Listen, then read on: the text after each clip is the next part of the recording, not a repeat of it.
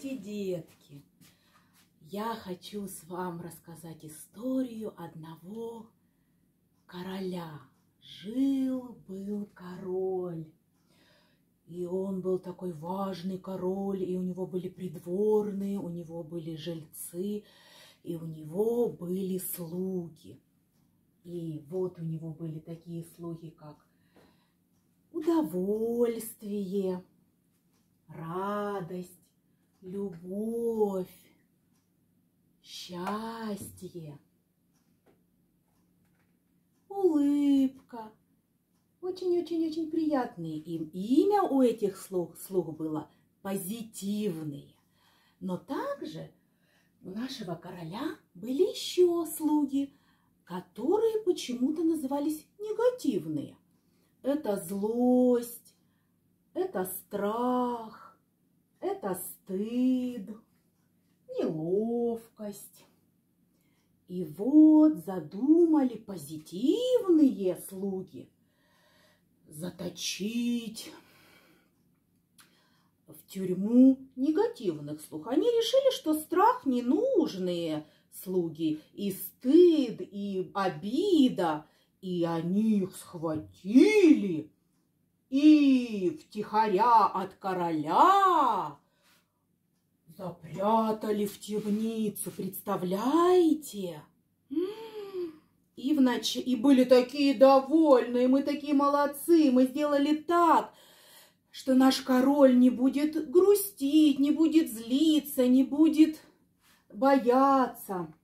И вначале действительно все шло хорошо. Король был весел, и все было прекрасно. Он делал пиры, приглашал много людей и делал много разных хороших митцев. Но однажды э, его пришел, обидел король с другой э, страны. А у него нет слуги обиды, и он пропустил это мимо. Боль он тоже пропустил. А когда король с другой стороны напал на нашего короля, он не почувствовал страх, потому что у него не было слуги страха. И он допустил так, что на его страну напали. И он был грустный, и все его жители были очень грустные. И, конечно же, э, слуги позитивные очень расстроились и подумали, боже мой, что же мы такое наделали? Ай-яй-яй, ой, вовой! И они побежали освобождать негативные э, эмоции и чувства. И вернули их на свои места. И таким образом вместе, совместными усилиями победили и выгнали плохого короля, который зашел на чужие границы. И поняли они, что могут они спасти короля и королевство и всех-всех-всех подданных только одним-одним способом, если они объединятся. Когда сильно-сильно страшно, приходит любовь. Когда стыдно, приходит поддержка и улыбка другого человека. Когда обидно, приходит объятие и удовольствие, и радость. И стали в этой стране все поживать хорошо, потому что король, он был главный над своими слугами.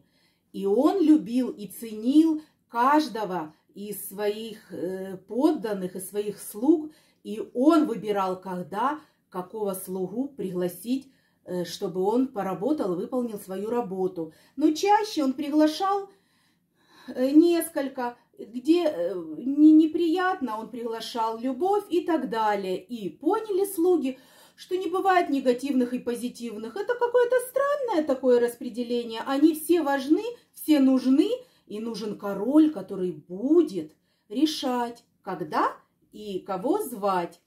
До новых встреч, ребята! Пока-пока! Пока-пока!